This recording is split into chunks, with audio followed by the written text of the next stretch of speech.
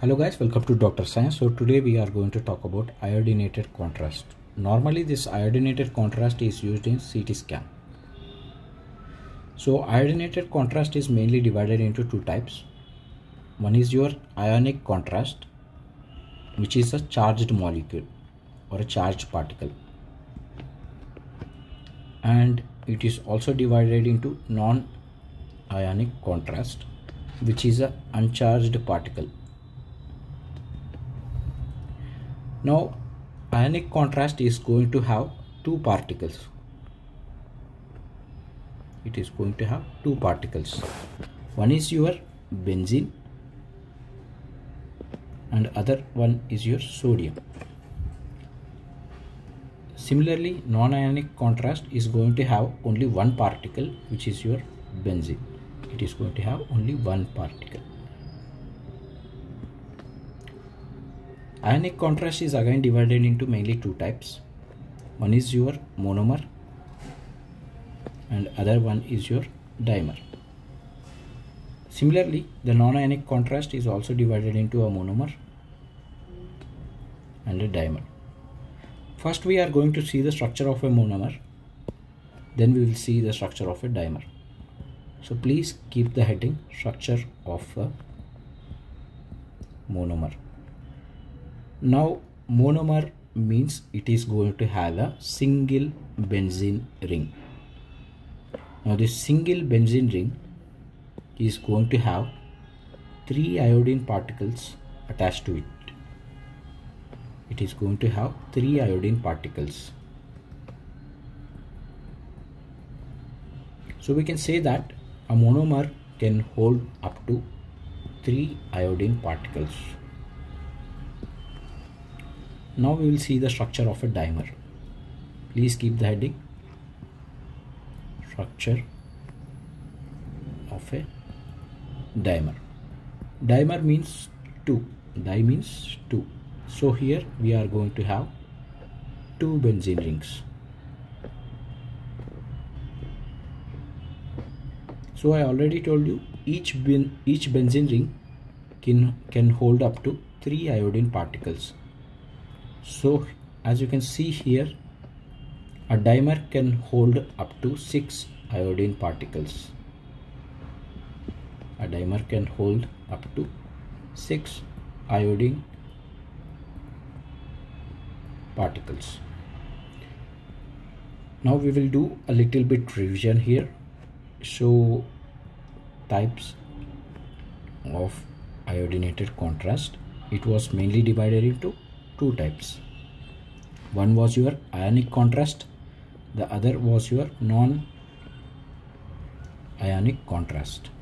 Now the ionic contrast was having how many particles? It was going to have two particles which is your benzene and the sodium. It have two particles now the non-ionic contrast is going to have only one particle which is your benzene. So here we have the we have only one particle. Now this one is again divided into a monomer and a dimer. So monomer similarly the non-ionic component is also going to hold one monomer and a dimer. Now we are going to see the iodine to particle ratio. Iodine to particle ratio. Now you will say me in an ionic component here as you can see the ionic contrast how many how many particles were there? There were two particles. And a monomer as you can see here a monomer was holding up to 1, 2, 3. A monomer can hold up to 3 iodine.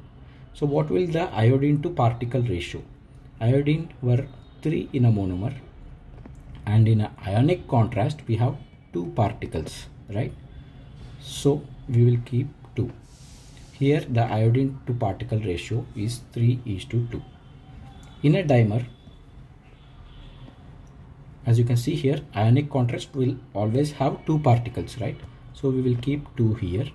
And a dimer was holding up to 6 iodine particles. As you can see here it is a dimer is holding 1 2 3 4 5 6 6 iodines right? So here iodine to particle ratio is 6 is to 2 now we will talk about the non-ionic contrast. Non-ionic contrast is only having one particle.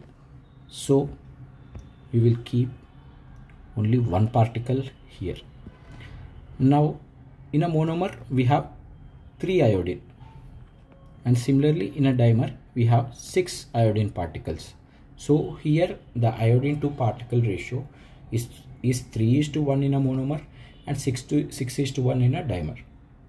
I hope you are clear with this concept. Now we are going to see the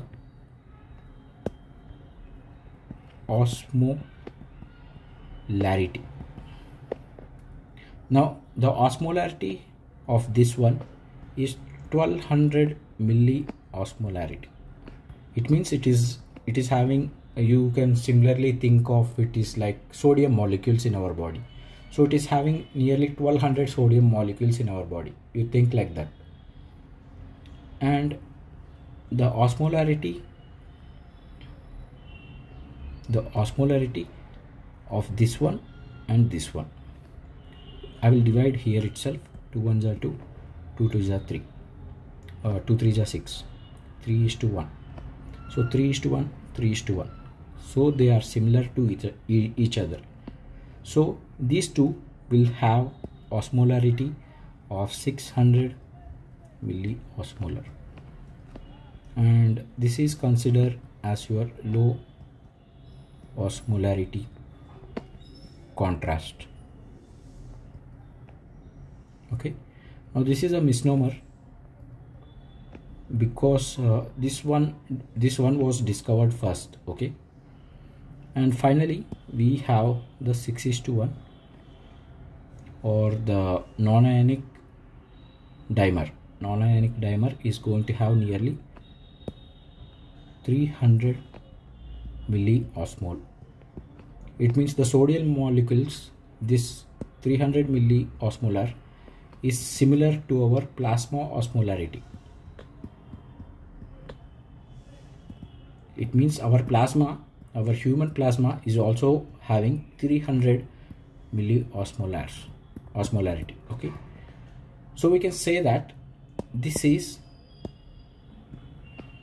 one of the safest contrast that can be used in diabetes mellitus patients or the hypertensive patients because uh, these people have increased risk of contrast induced nephro nephropathy.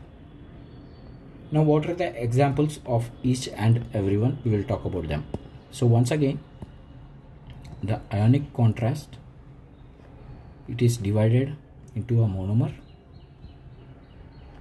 and the ionic contrast is divided into a dimer so what is the example of a ionic monomer contrast? The example here is your di